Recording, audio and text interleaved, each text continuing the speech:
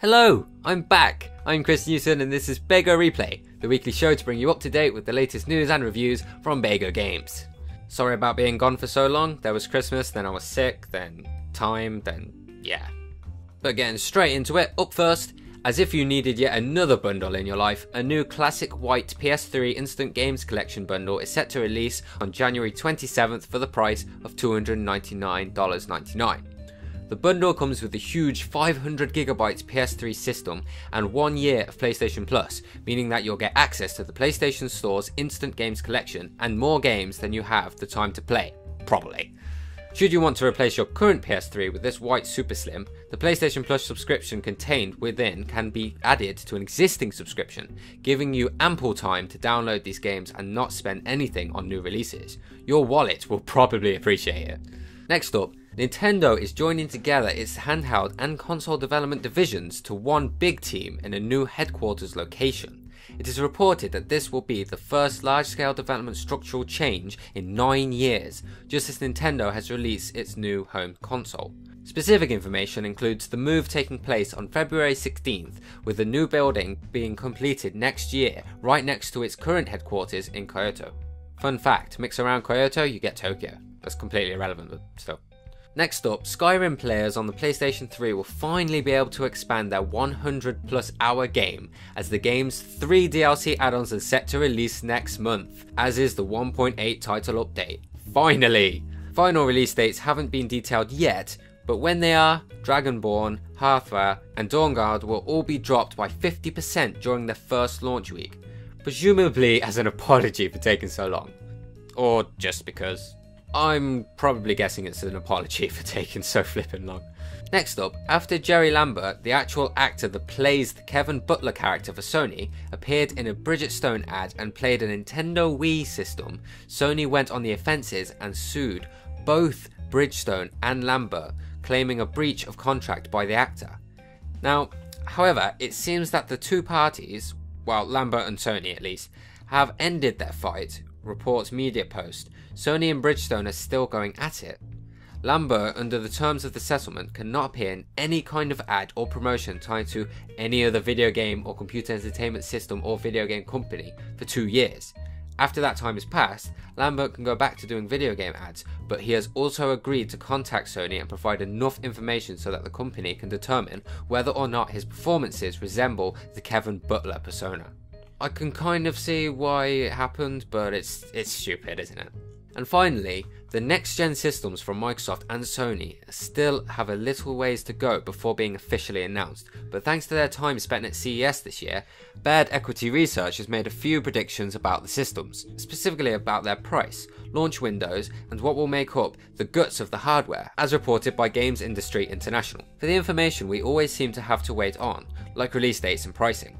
Baird Equity Research believes that both systems will be launched between 350 and $400, with the next PlayStation launching in October and the Xbox in November. It should be noted that Baird's Colin Sebastian warned of early production problems for the PlayStation console, but specific reasons why this would happen were not given. Meanwhile, high end PC components will be utilised in both systems. A mix between physical and digital distribution models will be present, and voice controls, motion controls, and multimedia will be enhanced. Well, I'm pretty sure that the consoles will be announced in this year's E3, but I have a feeling that at least one of them isn't going to be released until next year. It's just just a gut feeling. Now for this week's reviews. As I haven't been around for quite a long time, I'm going to go all the way back to December 20th. So first up, Aaron reviewed Under Defeat HD on PS3. He gave it an excellent score of 4.6 with his summary, Under Defeat HD is one of the best shoot 'em ups to be released in a long time.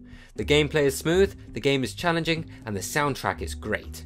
I've never heard of it before, but it's got anime characters in it, and that, that just means it's good, automatically. Next, Nathan reviewed Rise of the Guardians on Xbox 360. He gave it a good score of 3.3, with his summary While nothing memorable, Rise of the Guardians is a completely serviceable hack and slash game that is experienced best with three buddies on the couch. Now, I've yet to see the film, but I'm going to imagine that the film is better than the game because Films are usually better than the games. Next up, Nathan also reviewed LEGO Lord of the Rings for Xbox 360. He gave it a very good score of 4.3, with his summary being simultaneously the best LEGO game and best Lord of the Rings game ever. LEGO Lord of the Rings is an often hilarious, always fun adventure through the magical film trilogy. Well, we all know how the LEGO games are just taking films and making them into great games, so this is this is the only exception for having films into games and they're good. Although Lord of the Rings games are generally good anyway. Next is a review by me of Dead Space 2 for PC. Now, I actually did this review back in October, I believe it was, um, and back then we didn't have the rating system or anything like that. But if I had to give it a score, I would probably give it a score of, say, 4.4, an excellent score, 4.4. And my summary would be not only is the game full of blood and guts, it's challenging and has amazing sequences, as well as putting in those jump scares which just get you every time. And finally, Mitch reviewed PlayStation All Stars Battle Royale for PS3. He gave it an enjoyable score of 4.1, with a summary You're in for many hours of fun and enjoyment with friends and family in this well crafted and sculpted beat 'em up.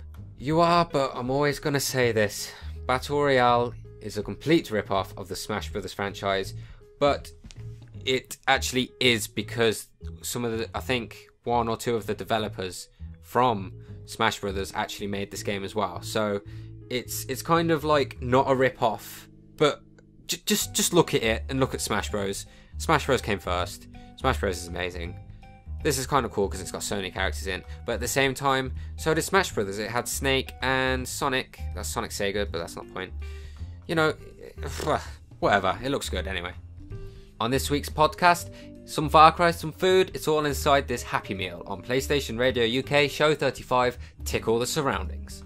And also this week, the Irish lads played Little Big Planet and a Street Fighter Bonanza and Renegade Ops Part 2. So, what are your thoughts on the next PlayStation or Xbox? Can you simply not wait until their official announcement, or do you not really give a crap? Leave your thoughts in the comments below and they might be featured in the next replay.